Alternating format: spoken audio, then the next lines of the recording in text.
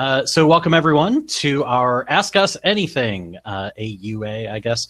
Um, we're going to be talking about pretty much anything that you want. I will let you know that the chat's going to flow a little more freeform tonight. I'm going to pull up questions and uh, we'll we'll answer them as they come up. We might cycle back around to different topics, and I'm I'm going to try and uh, last time I think we were uh, feeling compelled to answer things that appeared in chat as we were talking. Uh, I'm going to try and steer us away from that because that's going to get chaotic in a hurry. Uh, so let's try to focus and, uh, yeah, and make sure. I'm easily distracted. that is an issue, um, but I'll I'll try and keep us focused. Uh, I'll try and keep us on uh, on track of one thing at a time. Uh, there's no real track for the evening. Uh, we'll just keep answering questions and until we collapse or or until we're done with questions. Um, I will probably collapse. To go play video games. I don't know about you. Well, yeah, I'm gonna I'm gonna be the the limiting factor because I'm two hours ahead of you guys. So that's uh, that's the way that's gonna go. Um, yeah, but I was so, up at 4:30, so. That's true. You are your schedule is completely uh, different from the rest of us. So. Yeah, you're from Canada. You don't care. not why she was up at 4.30 um, but anyway uh, let's go ahead and introduce everybody. Uh, so i am eric simon. I am the community manager slash kickstarter uh, manager slash many other things uh, for Ulisses north america.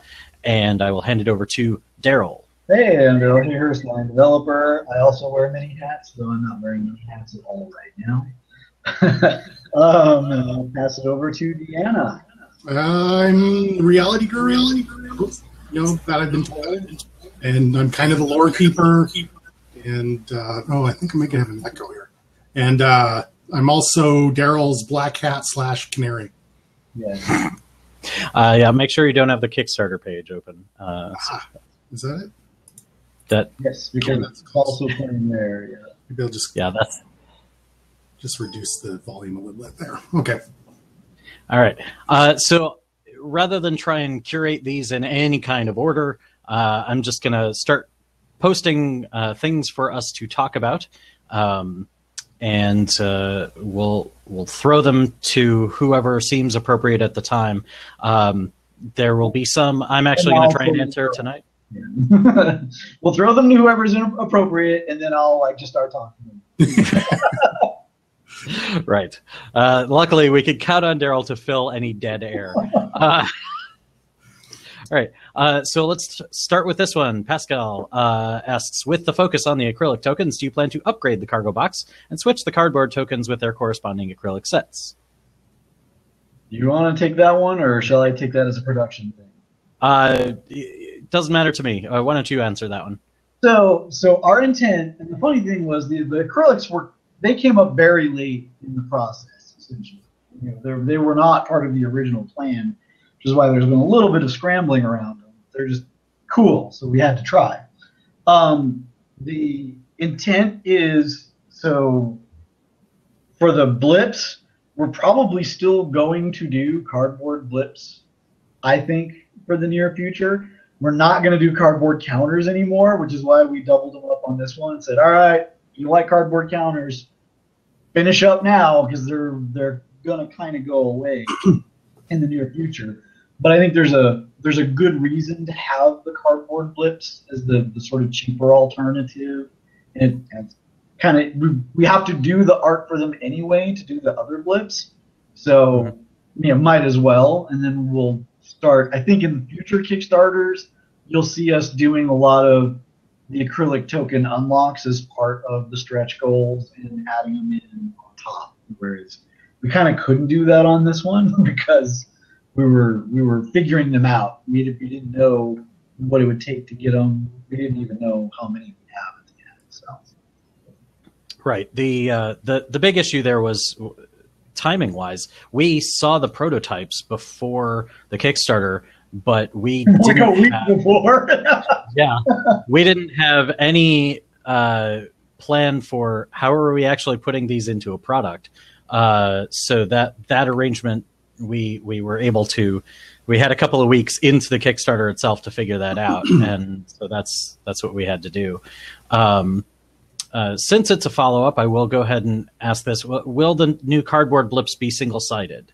The the new cardboard ones are still going to be double sided, but we are going to be better about what we're doing with two sides. So the lesson learned so from box one. Yeah. So we'll we'll be more conscientious about uh, sort of the effect uh, at the table of the that double siding.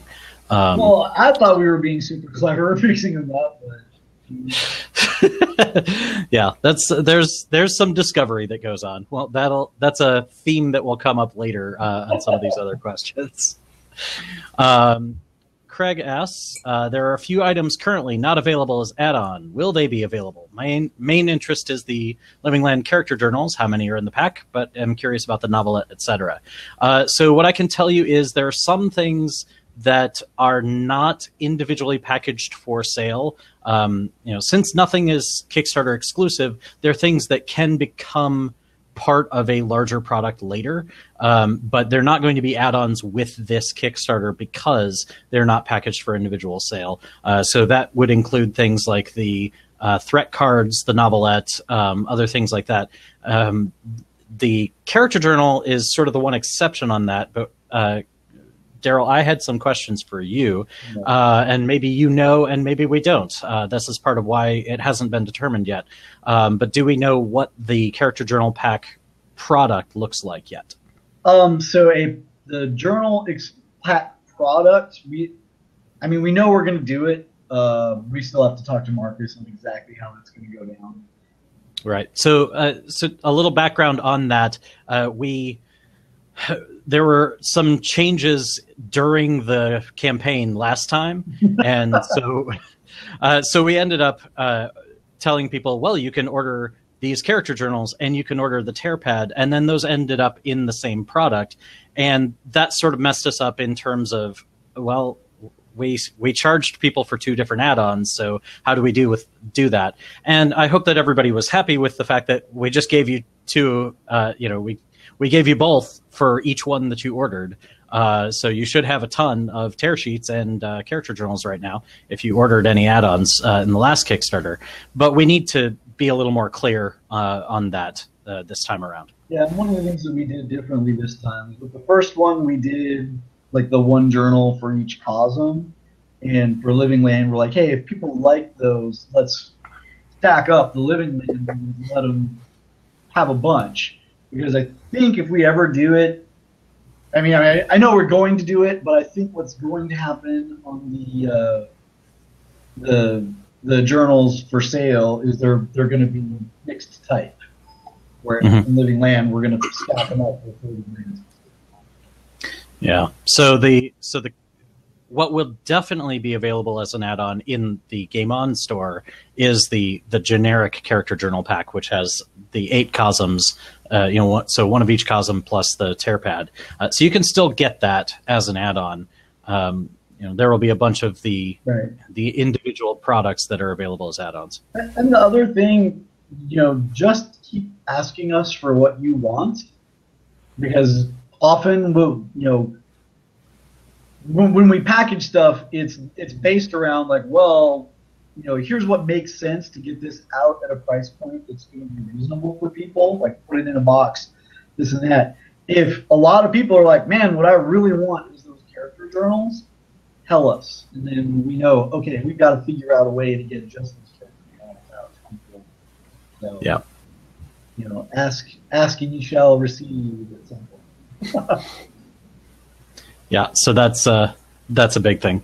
Um, the the one that I didn't know, uh, and this had come up in some comments earlier, Darrell, is the uh, the year one map of North America. Do we have that as an add-on, or is that uh, right now we are not?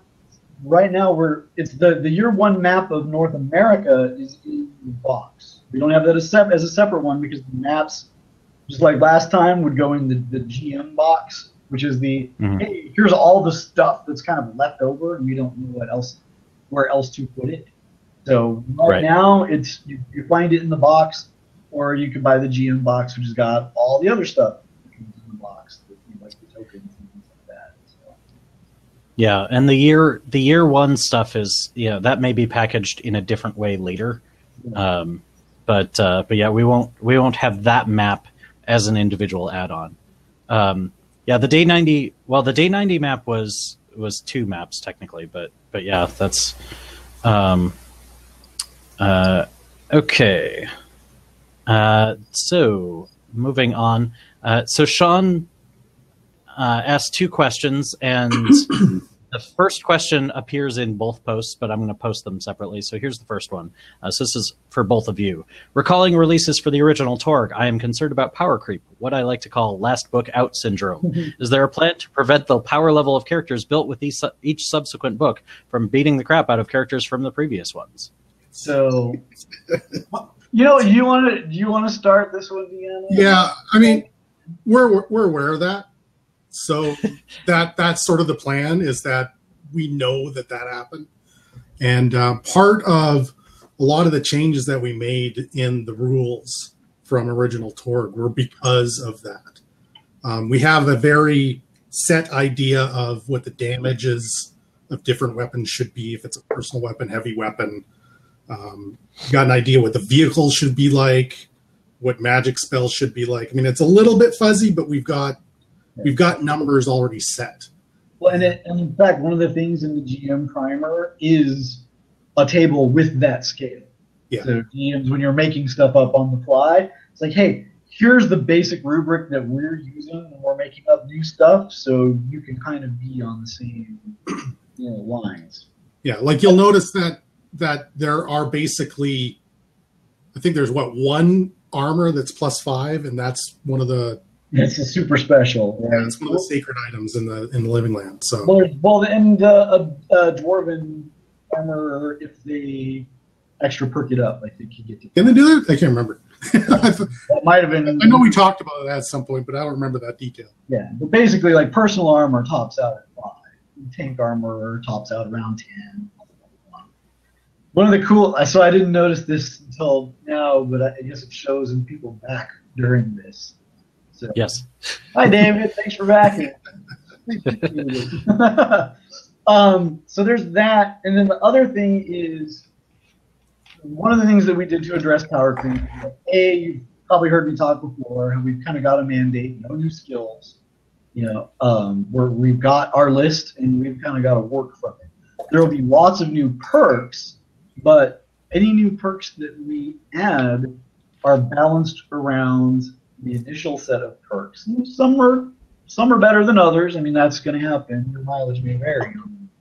But ones that are, you know, especially more powerful or more applicable or whatever, that's where the clearance levels come in.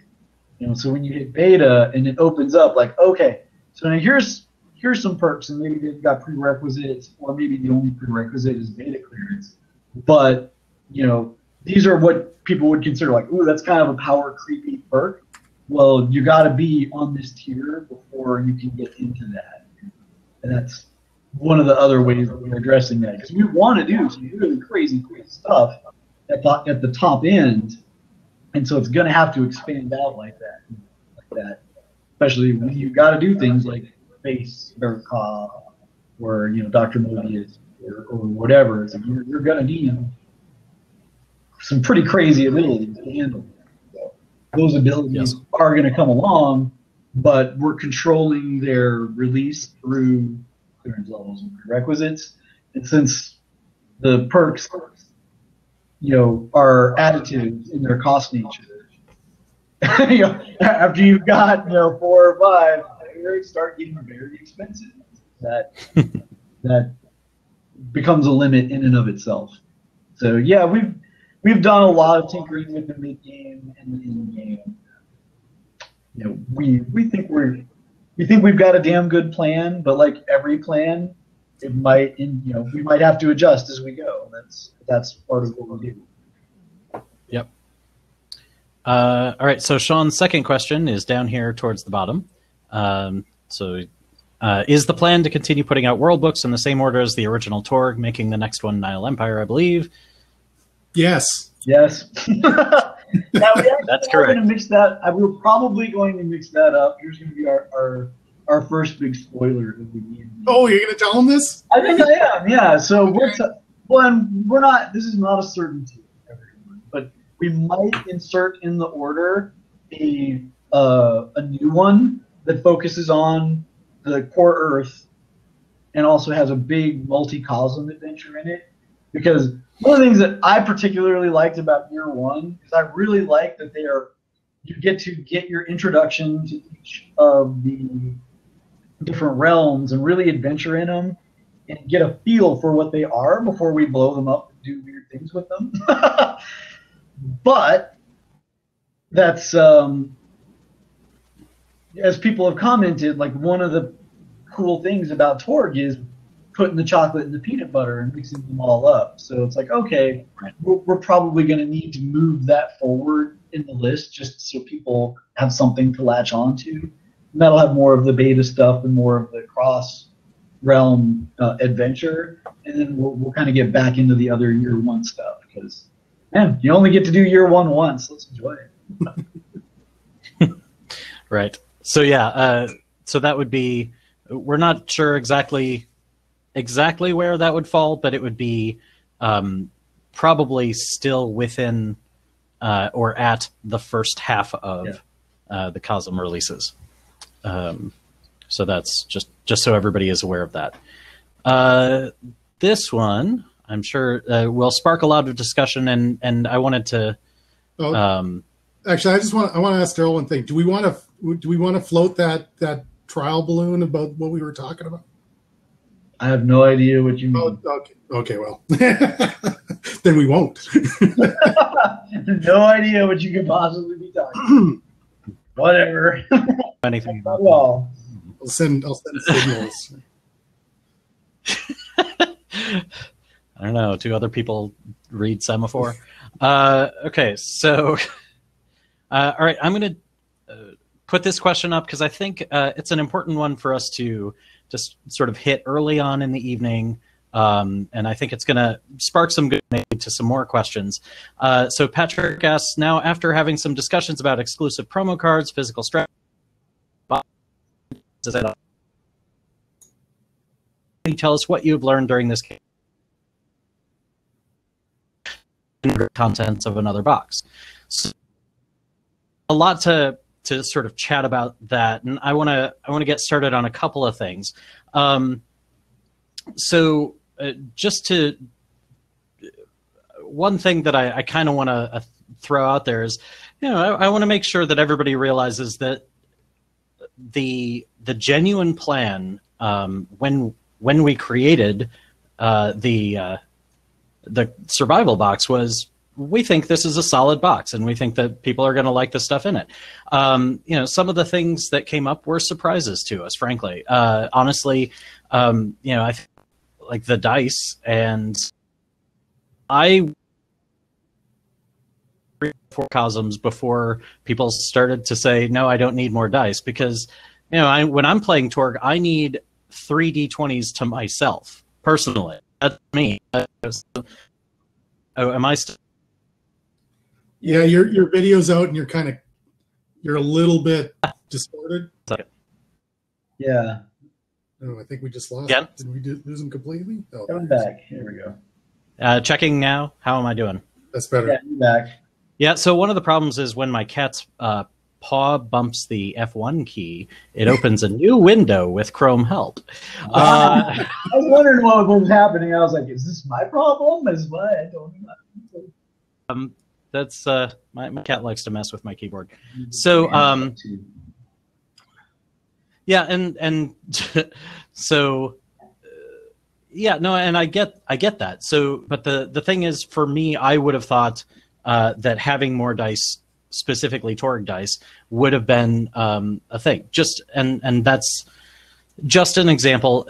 I'm not telling people no, you have to want uh, more dice. I'm saying that that's why it was a, and there are like that. Uh, that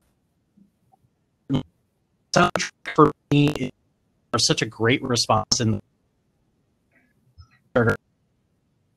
um, we we really appreciated that uh, that people responded well to some of the previews that we did of the the God Box soundtrack. So we you know we thought yeah people Yeah. are going to want that, and that seems to make sense. So so it's things like that where we really thought and and also I I want to say that while it's true that some people have said I don't want this or I don't want this in in a survival box not necessarily universal and and we can't assume you know as as creators we can't assume that the people who are silent agree with the people who are talking. That's something that we have to be a little careful about. So we can't just say oh every everybody by which i mean four people are saying this. Uh, so we have to um, those are things that we do take into account when there are four people they are speaking for more than just them. Yeah. and we realize that as well. Um, so the things that i would say that we have learned you know the is uh, to some extent we want to be a little more clear up front um, as far as why you should want the survival you know the the box because it'll be a different a different box uh, for the Nile Empire. I don't know. Have we said what what we're calling the box for the Nile Empire yet? I don't know if we have. Um, I don't know, but it, but it better have a, a ankh on the side that's been burnt away. Right, like I, I think at at least in pre-production we're calling it the sarcophagus. but um, yeah, I've been thinking of it as yeah. Well, no, that's the cyber papacy. No. Right. So yeah, and, and to Eric's point, you're going to see a lot of experimentation as we're as we're doing mm-hmm. these. Like the Nile Empire one's going to look different, just because you know, a we're going to have you know more materials you know to to pull from for stretch goals, and two, you know, we're always judging like, all right, what do what do people like? What do people not like? You know, what's been a surprise? You know, either way, and we'll have just we'll keep adjusting and hopefully you know we'll get better and better and better every time. Yeah. and you know and sometimes the the key is and and some people have asked this will there be a box for everyone? And the answer is yes. Uh, frankly from a packing perspective it makes sense for us it makes sense for you for us to offer some way for you to get a bunch of stuff at once and not have to do a la carte because that that creates a hassle for everybody. Um, you know but want to do a la carte they're going to want to pick and choose just Yeah. exactly the things that they need. And Yeah. that's fine. Uh, we want to make that possible. Yeah well that was our goal early on and that's why like the book levels there the add-ons. And we kind of knew some of these add-ons aren't going to appear until we get some unlocks or whatever and that's why we wanted to assure people like all right if you really want the cards it's going to be okay everyone. You know, we're, we're pretty confident that those are going to get there. And if you just want the book that's okay you know. Great Right. you know we we want that too you know because i i mean i'm a writer. I don't you know i don't make a lot of money so i got to be pretty careful about what i order myself so i totally get it. yeah. That's uh that's one thing about working in the games industry. You can't always uh, support all the kickstarters of your friends stuff that you want so it's, Yeah. uh, it's definitely an issue but um but yeah as far as sort of specific things um i think that a lot of that is going to come out more after the kickstarter because um you know there are some things that we can assume right now but we can't necessarily draw all all the conclusions until we have the full product list of here's what people actually chose in the game on store for their add-ons for their reward levels are going to be post kickstarter assessments. Um, and you know we will definitely be doing that and we'll be uh, tweaking and our plans for for the nile empire to to make sure that it really is um, you know appealing to more people. Because we know that even as it is people but hey if there are ways that we can make it better and uh, more appealing to uh, everybody that's fine. Uh, we'll we'll certainly do those things. Um, especially because it's easier for us to just throw everything in a big damn box so. Yeah. So so we'll look at ways to do that. Now i will say you know, and and this was early on in the in the Kickstarter when there was sort of this discussion about well, there are these. You've said that there will be things that aren't in the survival box. You know, those things are the acrylic blips, and as you've seen, that's hundred fifty dollars worth of uh, stuff. Um, and if we the the outset, okay, this is a three hundred fifty dollar um, survival box. Trust us. You wouldn't have. There's no there's no reason for anybody to trust us on Yeah, that. Um, and and certainly not everybody's going to want every piece of acrylic that that we're putting out. And you know, some people are will, will prefer theater of the mind, and that's fine. Uh, so they're going to want different stuff at the table. Um, you know, but but something like that, we knew we couldn't say, all right, we're putting everything in in the survival box because because it was just uh, Jeremy, Um, you're uh, my kind of guy. We'll give it to y'all. yeah, and, and Jeremy, yeah, I, I get that. Um, uh, we that's that's why we sell the add-ons, but uh, but yeah, that's it's that balancing act is tricky, and and that's I think of the things that I've personally learned from this Kickstarter. Oh yeah, yeah. People were asking, are they double sided? They are. Oops. Ah, sorry, I'm camera stupid. So yeah, basically, one side is, is a smooth gloss, and the other side is a semi gloss, a little rougher, so it'll land well on maps and things. Cool. Um, so uh, so yeah, the the big thing that I have learned uh, from this Kickstarter is is very much the as as Darrell shows off the the blips. Yeah, that's the the eighty millimeter. That's the 80 millimeter. Yeah, that means Yeah, we that thing's really have some big monsters. Oh yeah. All right, Darrell, you keep distracting me. Let me finish my point here. Uh, um, is uh, is really that uh, you know people want to see um, ahead of time. Okay, this is the stuff that's going to be in the survival box, and and that they want to be clear on that, um, and uh, something that will be that will be a satisfying thunk. Uh, you can l- watch the Marcus and Michael. Yeah, there you go. Uh, watch because they threw them around a bunch. Uh, Is that is that a Babylon Five shout out? It made a most satisfying thump.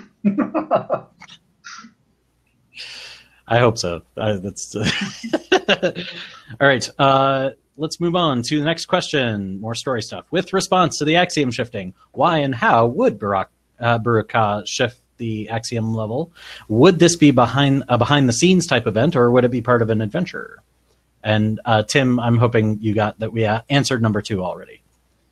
Yeah, yeah, true. So the interesting thing, so where this whole axiom shift came from, is we- we've actually known High Lords. It costs a lot of dang energy, but High Lords can do this, and so so much of our meta plot comes from us going, all right, why doesn't this thing happen, or what happens if it does? See example Darkhold.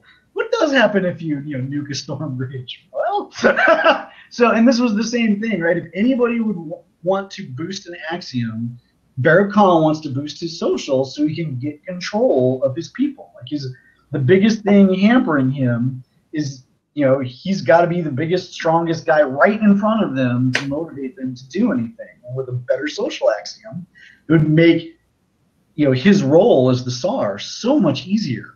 So why wouldn't he devote some energy into doing that? Well, I mean, one, it'd be super costly. Two, there's not a lot of ways to work that into an adventure, right? Especially early in the game. And this was where we first started talking about it. We're like, oh man, it would be cool to do this and have it be a thing that people could interact with, but we couldn't quite figure out how. Um, and so when we had a slot and we're like, okay, we need something kind of cool and big at 175 and I was thinking, all right, this would be a good way to test the waters on this, right? To like to bring it out because it does require some changes and some effort if we're going to go down this path. So it makes sense to tie it to a you know milestone. It's like, okay, great, we'll do this, and then we'll reach out to the community and see, all right, like, what do you guys think? Is everybody like, yeah, let's change this, or is everybody like, no, what are you doing? Don't touch it. Like we want to know and that that lets us when it comes time to pull the trigger on that adventure because there would be something for Storm Knights to do and all that. Like you can wait it, you know, as you do it. Like, all right, we're pretty sure you're going to succeed and stop it. You know, now your personal game it might blow up. And you're like, oh crap! All right, now we've got a different. now we've got a different social axiom. What does that mean? Or you know, when I said the tech axiom, like one of the potential backfires could be like, well, you get the extra tech axiom, but you also get more. You get the extra social axiom, but now, you, but you also get some more tech axiom, and maybe get a little bit more tools. Not many more. It wouldn't make a huge difference, but it would. It would change some things, including you know the GM screen and stuff like that. So, I think it's super interesting personally. Uh, I get that people are super leery about it, and that's kind of why we wanted to put it out there and see, like, all right, what do you guys think? Is this is this a plot we should pull the trigger on, or should we just kill it dead early on and we'll see how the war goes? Yeah, um, yeah, and and I think that that part of that is it's important that we have one of the options be no, the Storm Knight yeah, stop it, yep. Right. and and if that's the the general feeling, um, Makes it easy. Yeah, that's- yeah. Right, but and that's also like a that's a that it's a type of victory for the community too, right? Because it's like, hey, look, we hit this we hit this milestone, we got together, we did this. All right. There's going to be all sorts of ways that the community is going to affect the meta plot. This is one kind of way. The surveys are another kind of way. The convention games that we do are another type of way. We're looking at all sorts of different inputs, you know, to bring into there and kind of twist and turn that meta plot. And that's why we kind of laugh every time we talk about the plan because we know there's going to be all this input coming in and that's going to make things different. But to me, like that's what makes it exciting and fun. It's like, well, like I know what Baruk Kaah wants to do, whether that's actually how it goes down or not. And then, and if it doesn't, all right, what does he do about that? Like that's where the stories get really exciting. So and as people are saying in the comments, so every time we do something like this, like in the God box, there's there's sort of an assumed okay, it probably went this way, and in the canon that is going to be the base stories, you know, we're assuming that this happened and Lanala is not dead, yeah, and so on. But it could go the other way, and then we've got like a little bit like, all right, in your game world, this could happen. That's why it's a cosmverse, right? Like there's all these different worlds where different things happen, and there will be some adjustments to make, you know, down the line. But it's not like Baruk Kaah immediately becomes Torg when that happens. But your living land sure just got changed, and that's totally, you know, that that's the fun part, you know, and how how all those game worlds interact. And then when we get the feedback and say, wow, it turns out 75% of everyone killed Lanala. Oh, oh. All right, I guess we're going to have to make some updates in the main world. You know. Mm-hmm. Right. Um, so yeah. Uh, speaking of, let's go with this one. I'm looking forward to the God Box. So happy an adventure based in the living Love land is exciting. Can we expect this type of grand Cosmos Kickstarter? If so, is there any chance we will also see a new official adventure, something like the Destiny Map trilogy, as players touring the entire world are part of the next one? Um, love the new Living Land, but I really want new players to spend some time in different realms and get that Torg feeling, mixing and mashing. So, John uh, or uh, James, I hope you uh, got some of that second part in uh, the talk about the Core Earth uh, plans. that we Right. were- that and we- that's and that's why we're bringing it up is because people are craving that, you know. And it's also going to take us a little longer than we expected to get all of the individual cosms out. So it's like, all right, you know, live and learn on that. But yes, the plan is for every cosm to have its you yeah the grand tour adventure that takes you to like all the highlights in that cosm. Uh, and lets you really get to experience like okay man this is to us the quintessential nile empire mega adventure right? This is the quintessential cyber papacy mega adventure. Um, so you know what it means when you mash these up later and we're going to do the mashup sooner rather than later.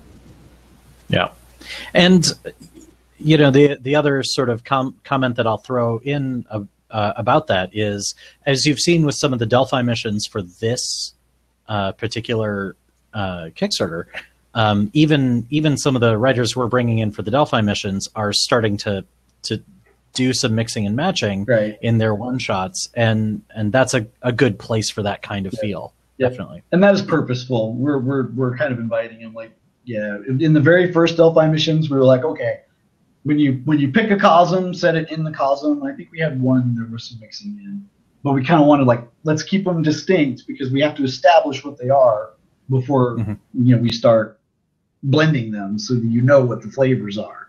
And yeah, now in this one there were there there's definitely more interaction, although it's still pretty heavily living land, you know. But that's what we want, right? And Yeah. and I'll give you even a hint what the what our um, mega crossover one's going to be. So if you've been paying attention to the materials, you know there's this um the tunnel system that there's a, a land below in the living lands, and then there's the land between the underground over in Aysle. And we've even mentioned like, hey, these caves aren't just in these two places; they're happening all over the place, even under core Earth. And no one really is like, why in the hell would this be? Like, where are all these caves coming from, and why do they all connect, and all that. Our big Cosm crossover one, you can pretty much bet is going to deal with that head on. Interesting. All right. Uh, what are the current plans for more fiction? Has there been a decision when to release the adventure from last year's Gen Con yet? Will the cards that were in the package dice last time but not in the cargo box? Uh, there's a bunch of different stuff here. Be with the dice in the survival box. How will the acrylic blips be blip, blips be packaged? Will they be loose? All right, let's go down this line. Current plans for more fiction. I don't know if we could talk. about that Yeah. So, right. Let's just say I, I don't. That's I think that's one of the few that we can't talk about. There are Yeah. top, there are uh, top men working on that. Top men. Liter- literally, our top man is working on that. Uh, uh, so there are p- current plans for more fiction. How about that? Uh, has there been a decision when to release the adventure? So the biggest holdup on that is we're missing one map for it, and that has not been a priority because we've had to do our other Kickstarter stuff. Um, pretty much the second I get a gap, and we've got the time to get that map in, then we'll be able to release it. Because like the adventure's printable and done, but it it would look goofy with just a giant square block that says map here, you know, and it's like "Ah, probably not going to release that. Uh, will I can speak to this one? Will the cards that were in the package dice last time but not in the cargo box be with the dice in the survival box?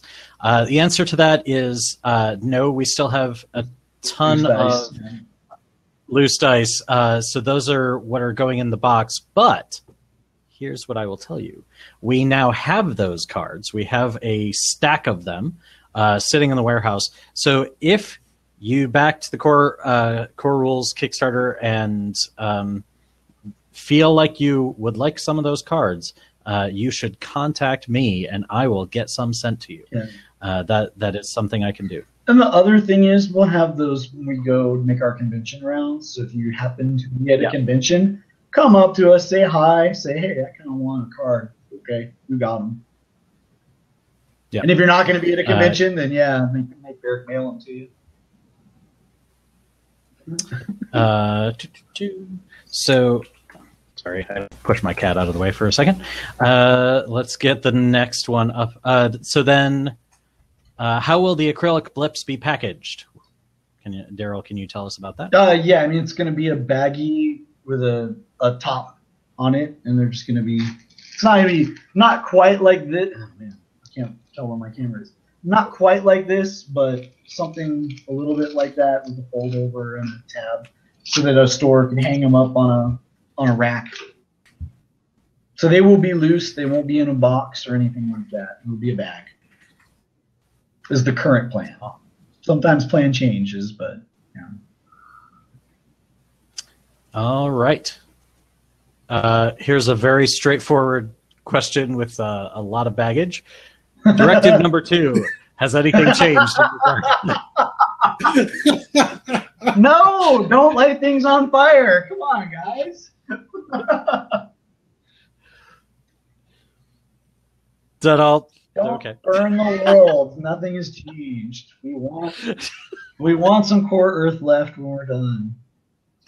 I really hope that so when the backers were there, you know, we were we were talking about like, hey, any directives you want to add? And we came up with that one, and uh, everyone laughed when I said, okay, cool, that's going in the book, and everyone laughed. So I think they thought I was joking. I'm not joking. when stuff like that comes up, oh yeah, it's going in. All right. Curious to see what people will make of Directive 4 when it comes out. Oh man. Uh, Martin asks, "Will the new miracles from the Living Land use the full spirit axiom of that Some concept?" of them, Uh, yes. it's just most of see them what- are not. Yeah, most of them aren't like you know 24s. They're they're in that mid range, what we call the useful range.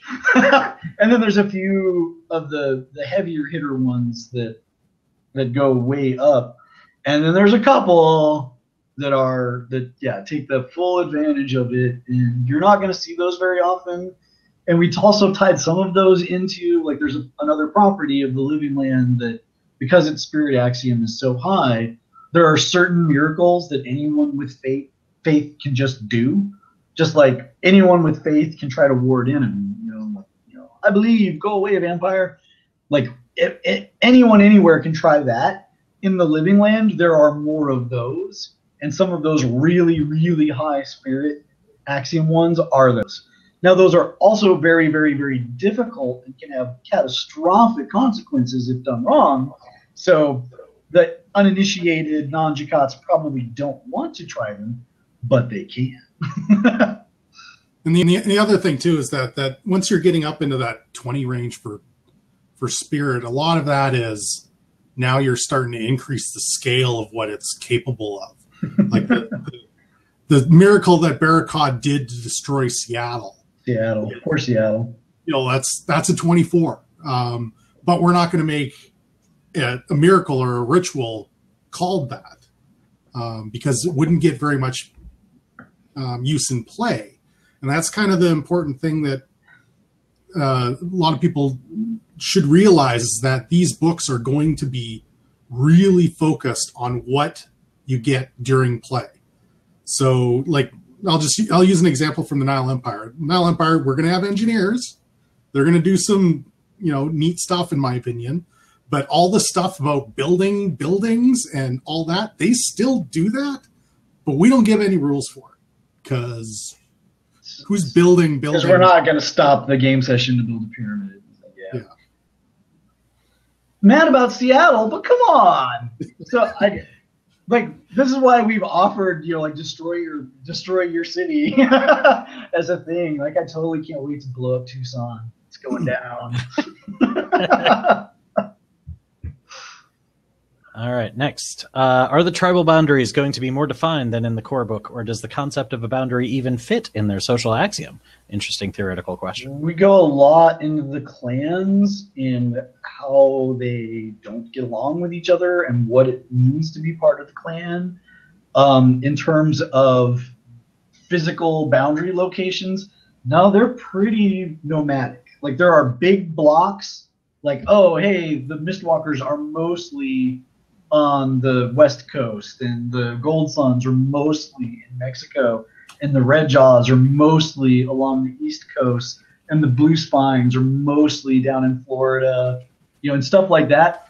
But those tribes they're they're very nomadic. They, they get mixed up. They can go anywhere. And part of that is so gms have the freedom to be like man i would really like some red jaws to be here and you know reckon some stuff so yes there are red jaws here like the and you can keep those pro, you know properties without you know without hurting your brain essentially but we we, give, we do give a, a, a kind of broad geographical like here's where the concentrations are but beyond that they mix up pretty tightly We definitely don't. Answer. Ottawa's doomed. uh, what was what did I just blow up, Dean? In honor of uh, in honor of um, exploring the storm, Oh yes, Saskatchewan. I don't, I don't, I don't think I Oh, saw that. Saskatoon, yeah, Saskatoon, yeah, Yeah. yeah. It's Oh, all- Saskatoon. we just said yeah, so, yeah, we're blowing up Saskatoon. right. Because because those guys are awesome. I'm like, all right, here's your reward. Boom. Well, well, you know, it, it, just as a segue, quick segue there, the location of backers did have an impact on where certain cosms are going. Yeah, so so we actually, uh, just so you know, we we are able to take the uh, uh, take the the backer information from the first Kickstarter and map it. And so we looked at that as we were planning some of the the updates. It does, yeah, it does. It does. Like I say, when I was saying before that there's a bunch of, you know, inputs that feed into how that war metagame plays out. That's another one. Yeah, like, like we could have gone the cyber papacy. We could have gone into Brazil or Argentina, but there are more backers in Rio than there are in Argentina. So Yeah. Well, I thought, and I thought the biggest one was Australia. yeah, That- there's a lot of people in Australia. That was a, that was a surprise to us. We got a lot of love from Australia, so you guys get your stuff wrecked by a giant infected, you know, beast. You're welcome.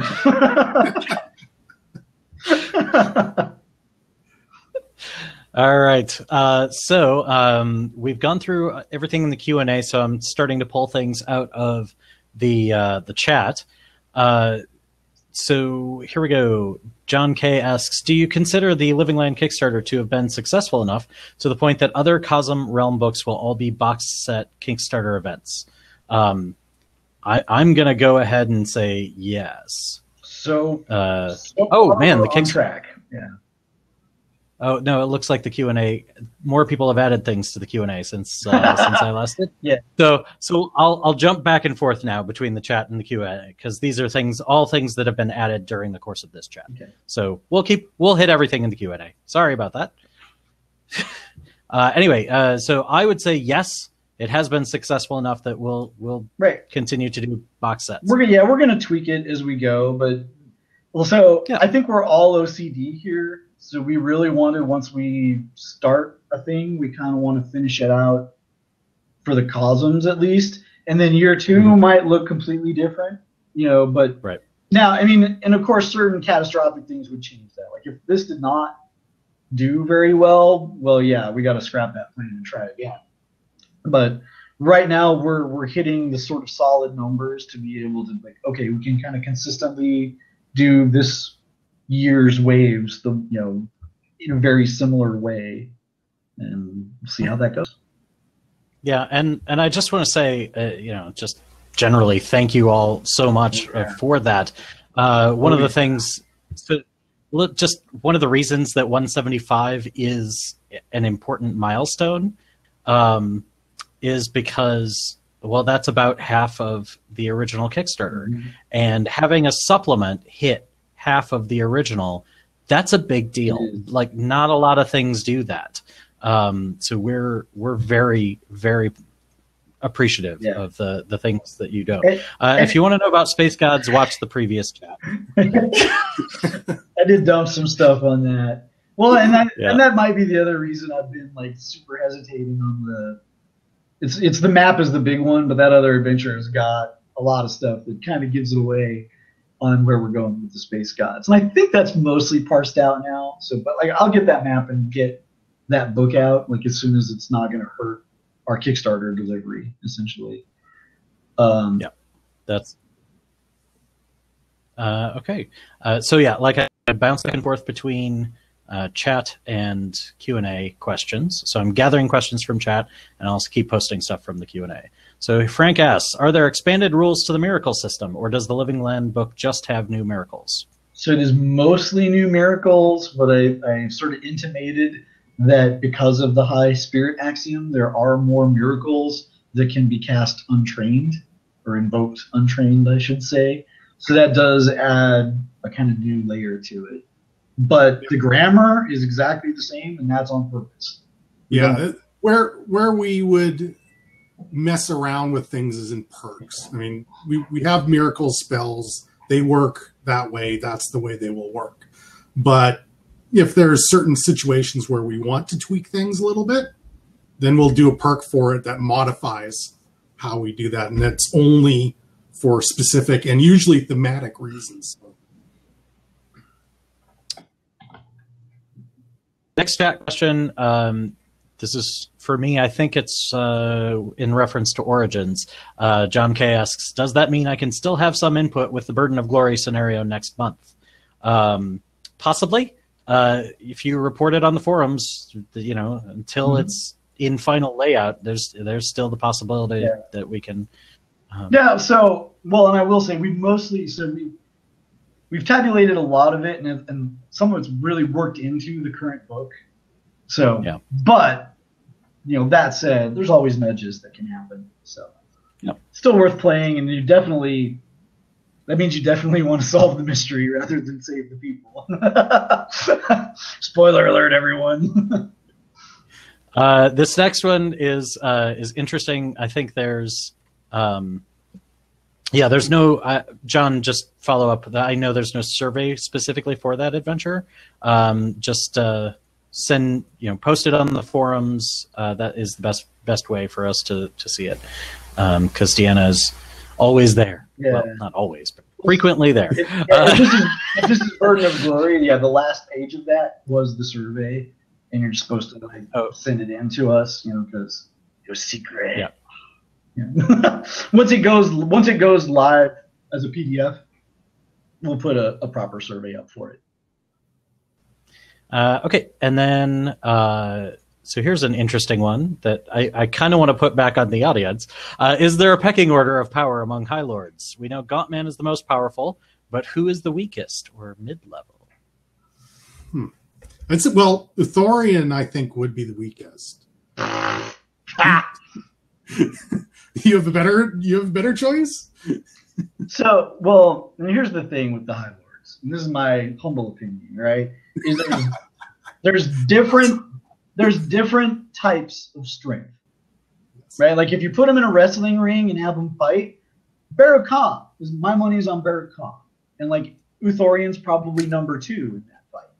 However, you know the odds of it, you know, being determined by a wrestling match are very low, and it's like, hey, sure, you know, Ryuchi Kanawa physically isn't as imposing as some of the others, but and yet you know Pan Pacific is getting stuff done, you know a lot of stuff done. So the that they're all going when we stat them out because you guys are going to have to battle them. They're all going to be very different, right? Like like Baruk-Kaah is a physical brute. You're gonna have to take him down with punches. You know, some of the other High Lords that is not going to be how it goes, right? Like you know, you, you, you won't be able to just shoot the Gaunt Man and be like, ha, we got it. You know, it's they're they've got different takes on different powers.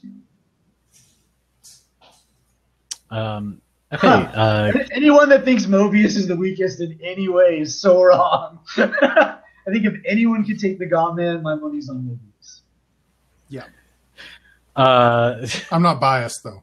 I mean, I would say yeah, there's certainly a lot of stuff going on in uh, Tharkold uh, that that oh. is they're they're kind of punching each other, and that's yeah. a big problem. So that's gonna well, be fun. I, once once we figured that part out, I was just like, yeah, yeah, right. Well, and that's and that's the fun they, thing about actually, Tharkold. Okay. People probably some people probably don't know what we're talking about here.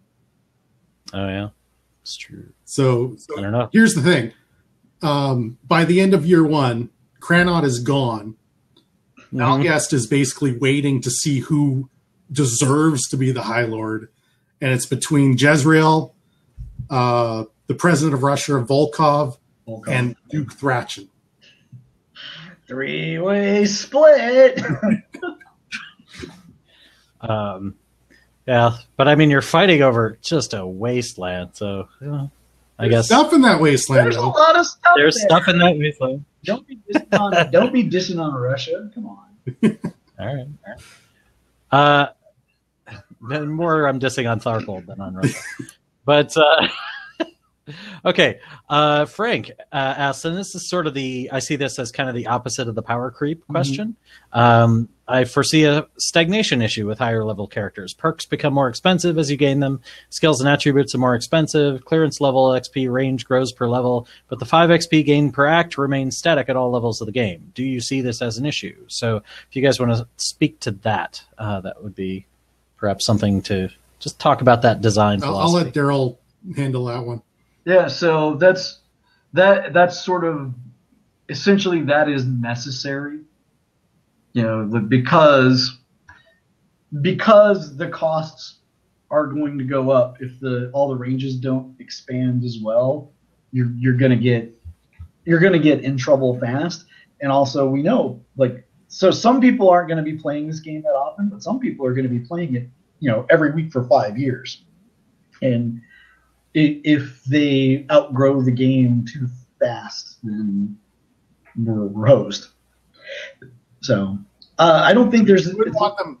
Yeah. Wouldn't want them taking out the Gaunt Man in year the end of year one. Yeah, no, I don't. So as for stagnation, so there's a lot of choice in there, right? It's like you can be saving up for that big thing, and the nice thing is, even if even at the higher levels, when you're saving up for that big change, you're still talking every three, four sessions tops. I mean, that beats the hell out of D and D, right? At high levels. Um, and if you are like want, you can start fidgeting on the lower stuff, like skills. You know, you'll there's a lot of levers to pull. So. Yep. And yeah, and as somebody noted, I mean, it's your game. At a certain point, you'd be like, all right, guys, we're just jumping to gamma clearance. Here's 500 XP. Off we go. I mean, you can. It Doesn't hurt.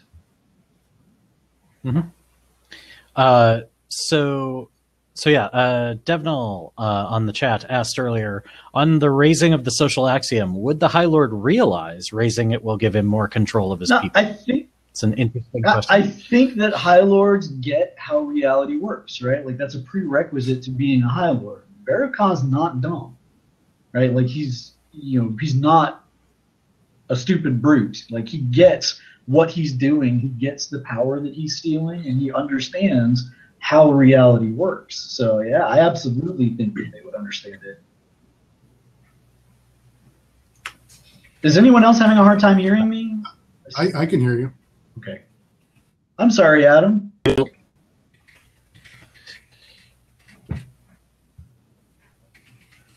Uh, okay, I'm just letting everyone know you'll be able to rewatch immediately after.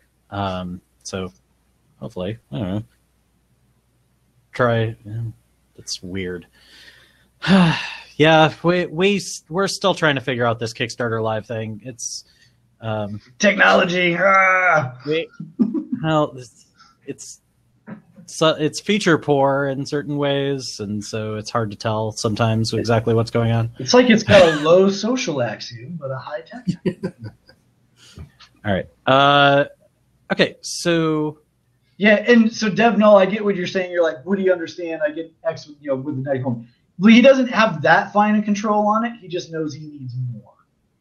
Right. So, like, like bumping it by one is the first step, and it maybe doesn't make a huge difference. You know, but like he knows he's getting closer to there. All right. Uh, next Q and A question. I asked this in the comments, but my bad wording got the can no POD response. My fault. Sorry about that, Jeff.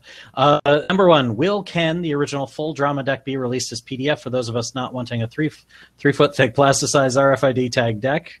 Um, we also don't want to drop thirty dollars a deck every time too many cards are lost, damaged, or destroyed. In the last chat, uh, live chat, you mentioned something about a deck resource for Roll20.net. Is that going to happen? And if so, when? How will it be implemented? So uh, let me answer the first question myself. Uh, thinking about the PDF, we have generally steered away from um, versions of cards, uh, and that's across multiple product lines. Um, uh, the uh, the issue for me is that um, you know we're trying to present it in a in a particular way, and we we want to make the uh,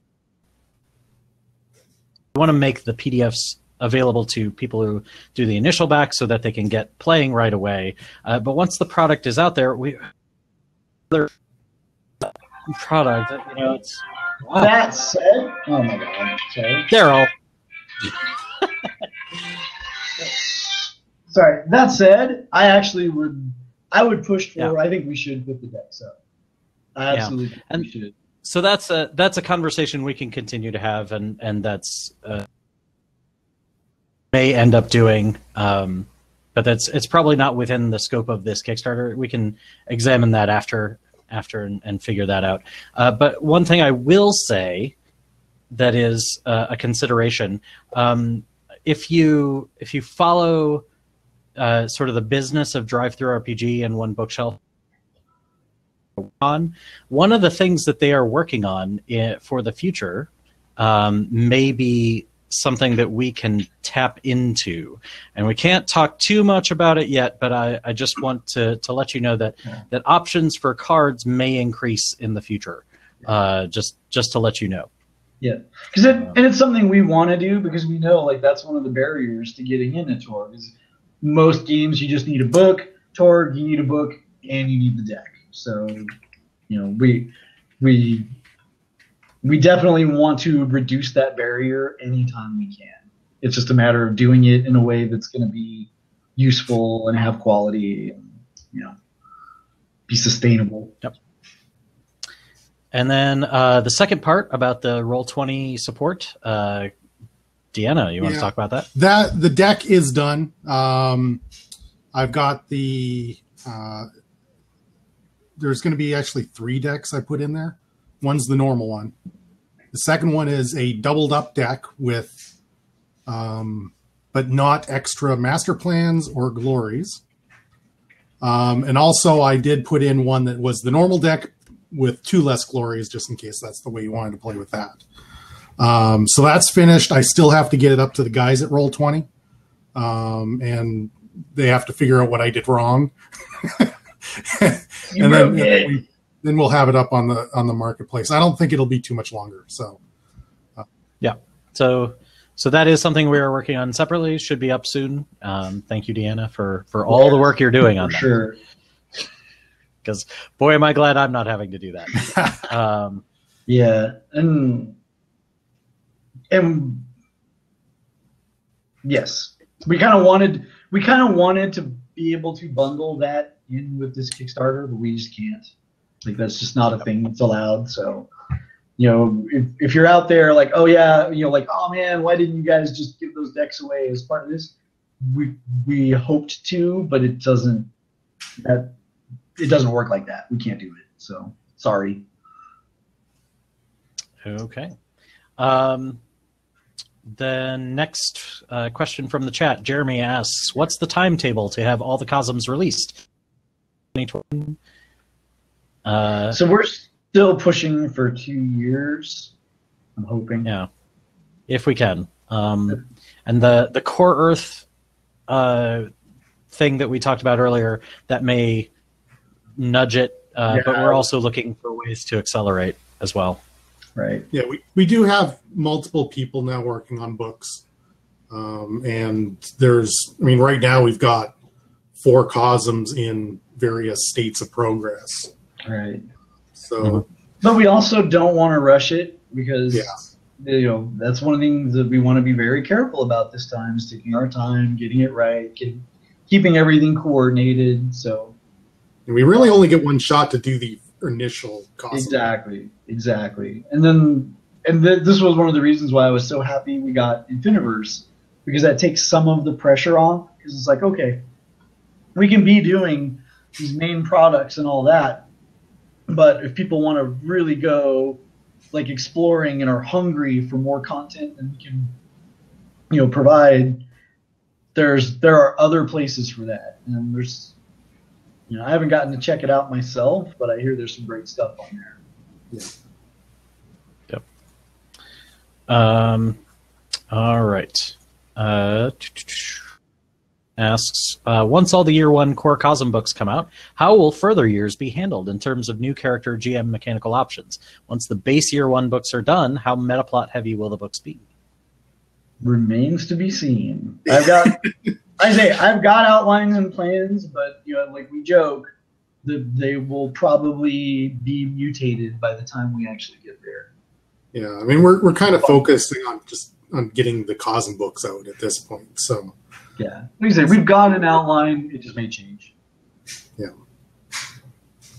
Uh, okay. Uh, more from the chat. John Ellison asks, uh, "And what tribe rules the White Zone?" Uh, oh, we do say actually, don't we? Do we? Um, oh no, we don't. So the whole thing with the white zone is it is completely user defined. Like we just say, oh, we don't know what's going on there. GM, make it up. You know, we we give a couple of possibilities. I think we kind of hint that the Mistwalkers are involved with it because the the deep mist is really strong there, but it doesn't have to be. Like it's very that that whole place is very GM choice. Like, yeah, we give some ideas just so you're not completely left hung out to dry. But at the same token, we're not. We don't plan to. We don't plan to come back later and say, by the way, you were wrong about what was in the white zone. Yeah, we're, we're kind of setting aside one area in each realm that we are. Eh, Well, okay, I want to do that. yeah. There's there is lot- one in the Nile Empire. There, there is one in the Nile Empire. So I don't think it's always appropriate. Like I think, like I think it's good to have blank space for people to fill in, but I like I don't want it to be too meta. Like, and by the way, here is the blank space to fill in. It's more like, hey, like there's stuff going on here, here, and here, and you know we kind of left some, something fuzzy in this area. Man, go to town. You know, do whatever you want. But but I personally find it a little off-putting to be like, by the way, here's a mystery zone. Do whatever you want with it. That's what I'm buying a book from you for. You tell me. all the time. but that's and that's why it's important to have multiple people with input on the different products, right? It's like no singular like if there's a singular vision, the closest we've got is Shane Hensley's, right? We're we're still following the star as we go on, but we've all got our own very distinct sort of Yeah, I mean, inputs and attitudes and likes and dislikes. there there were things that Shane was sort of leaning towards, and we kind of we convinced him otherwise. So And and there's still It room for the community to push us too. Like, oh yeah. yes. Uh, so, Michael, hopefully we answered this for the most part. Uh, are there any plans for virtual tabletop support, fantasy grounds, etc.? Uh, the answer is right now, roll twenty. Um, and uh, I've I think I s- a little bit in previous chat. Um, as far as fantasy grounds go, the best way to get that to happen is to use the core tool set to run Torg there and uh, and let it show up in the that that's what you're running because Fantasy Grounds looks at those statistics to figure out what they should be hiring people to uh, uh, to develop. Um, so that's that's the big thing that I will say. We, we have been in contact with Fantasy Grounds, but it's definitely not. Um, it's still in the maybe phase. Right. As opposed Yeah. to, with Roll Twenty, we've actually got some stuff that's coming. So Yeah, and and a lot of that is is the difference in how those uh, just those platforms work. Yeah. Roll twenty, we can go say here, whoever wants to buy it, go ahead. Um, whereas fans, it really it really needs a uh, a, a kind of a base population um, to exist before we can we can push for it. especially because we're not experts at coding that Right. stuff. And- Right. Yeah, and really, we're all for anything. So we we're gonna try to support any community that is trying to play Torg, however we can. It's you know.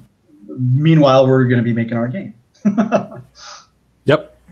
Um, so, uh, Lost Faith uh, asks, any plans to add a new Cosm unique to Torg Eternity? And then several people said, please no. But I'll ask. Uh, I'll ask the question and see uh, see what you guys say. if something like that were to happen, it would probably be a year three or year four event because we've got a lot of ground to cover before we open up new cans of worms. Yeah, I mean, I'll be honest. I don't personally like the idea. I mean, we're if we if we got plans with space gods, and we've got eight right now.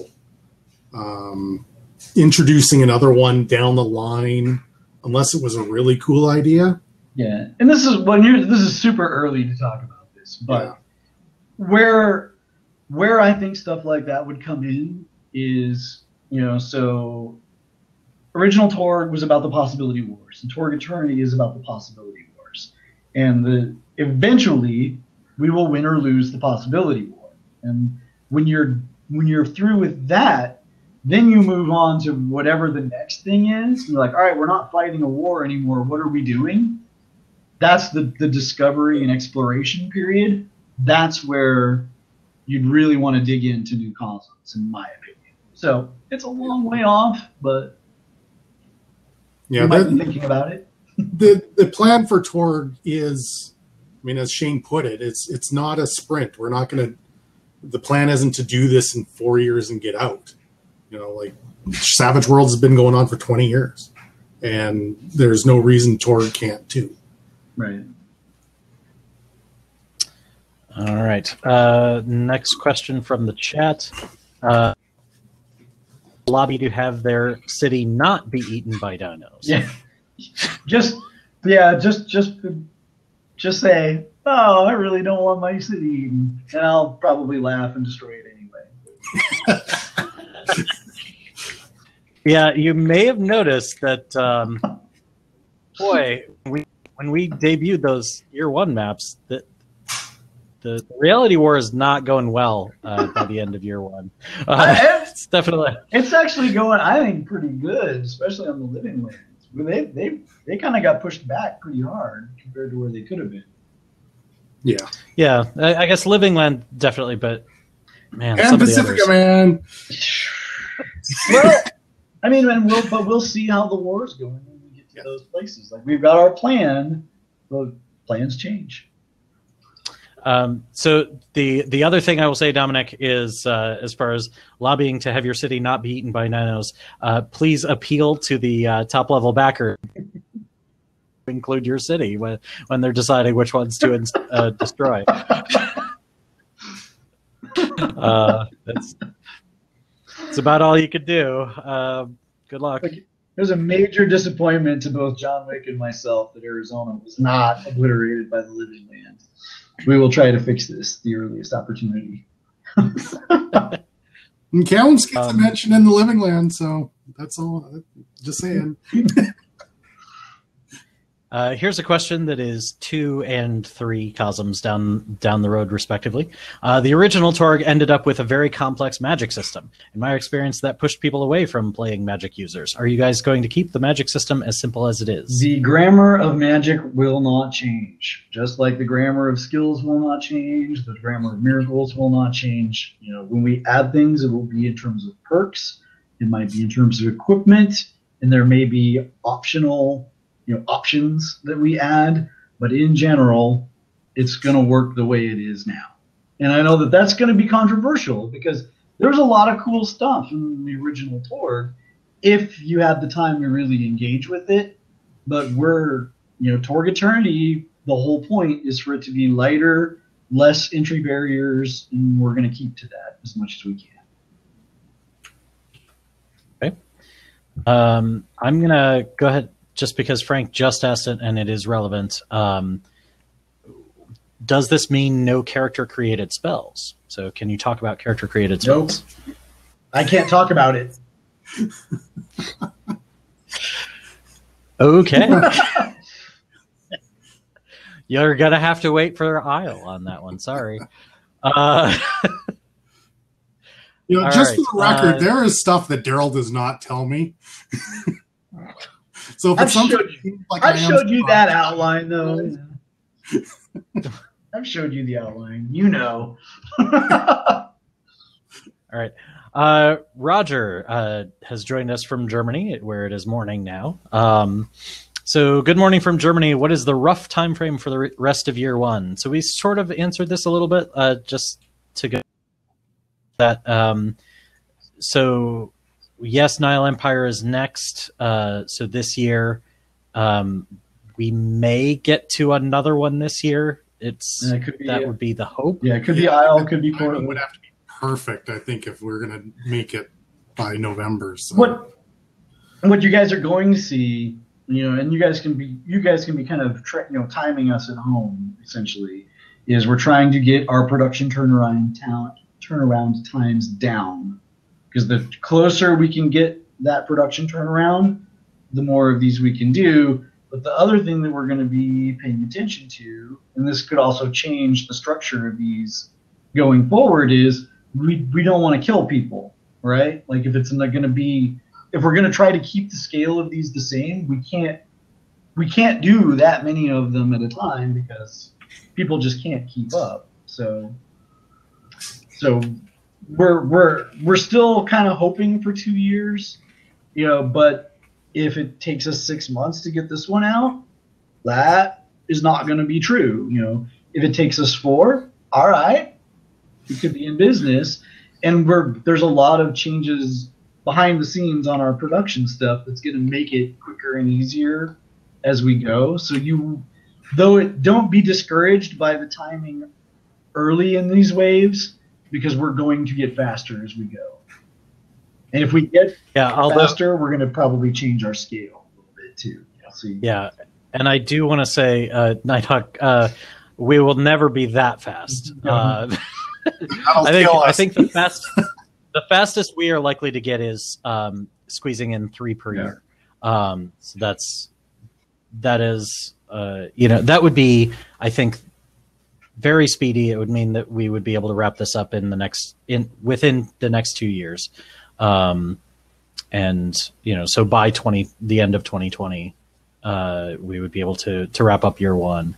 But that's that's ambitious. Right. Um, and likewise, the further the future years aren't going to have, you know, eight different cosms to deal No. with. So Right. that's when the timeline starts speeding up significantly. So Yeah, because because once you've got that core base for each cosm, then you can do the overlays and, and the and, updates. and this is why Um, we're doing everything timed at year one is because i mean if we couldn't do it otherwise it, it, it had to be like this if we were going to you know maintain the, the quality that we're getting and not kill everybody trying to trying to get these out. I mean when you look at the original torg publication schedule it's insane like they got they got all six cosms out in 13 months, and that includes at least one trilogy, and I think about two two compilation advent, adventure compilations, and I think the Cassandra Files was in there, and yeah, it was just it's not the early 90s. it's Yeah. just well, but there's, I mean, but there were a lot of people going in a lot of different directions, and one of the things that we want to do different this time is kind of keep the cats herded and kind of moving in a, in a singular direction.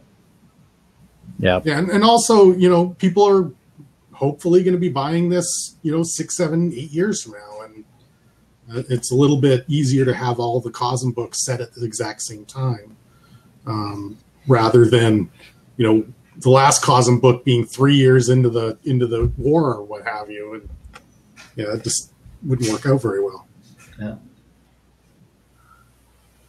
Um, I'm gonna Okay, wrap up uh, pretty soon here, so. yep. We got a couple more questions that are fairly quick. Uh, Abhishek asks, uh, "So can we expect the different decks as Roll Twenty products?"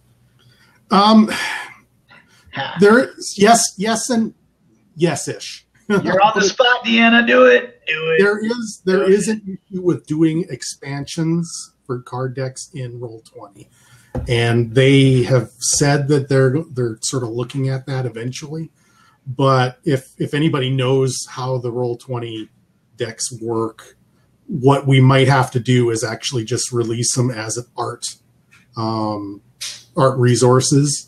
And then you would add the the cards yourself. I mean they're Can you can you update uh, a pack once people have already bought it? no see that's the problem. You can't. So be, people can add art to a deck that they've already got.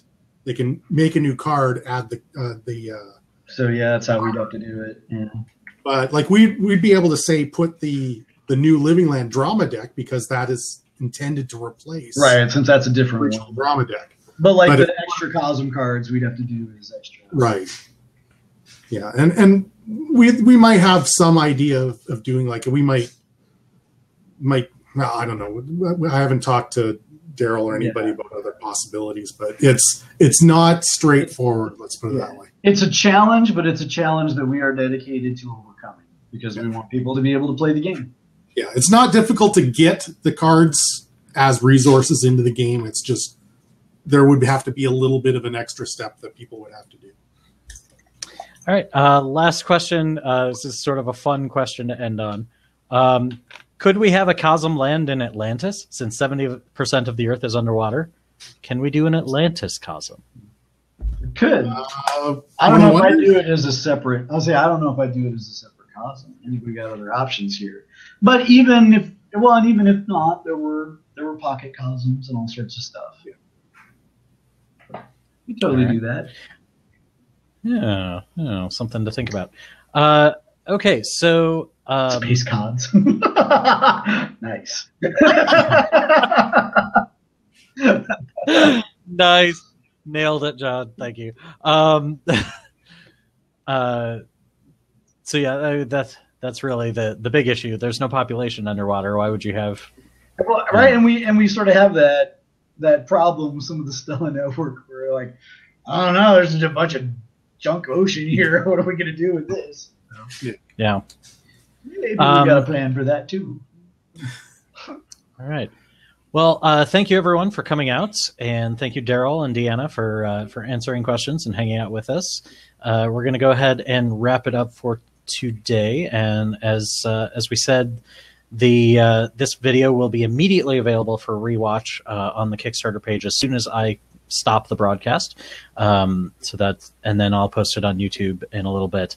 Uh, we're we're not we're at the point where we're coming close to the end, so we probably won't do another big Q and A chat. But uh, it's possible, as we're depending on how our schedules look, we may do um, We should, kind of a we should countdown. do a rap party. Yeah, we should do a rap Yeah, party. yeah. So so we may Yeah. just it'll be very very informal, uh, but we may do a, a rap party um, on Tuesday. Uh, so if you if you want to plan for hanging out with us, that that may be something that we do. Uh, but yeah, so thank you all, and uh, we'll Yeah, if you you have more questions, uh, we'll certainly continue to answer. yeah. If we're around, thank you all for the questions. Thank you all for the support. Thank you for backing. I saw a bunch, you know, some people adding it during this. Thank you all so much. We couldn't make Torg without you, and we want to keep making Torg. Yeah, and if you guys have questions, uh, go on the forums and ask away. I'm there way too much. It's true. Uh, so yeah, all right, and thank you all, and good night. Night.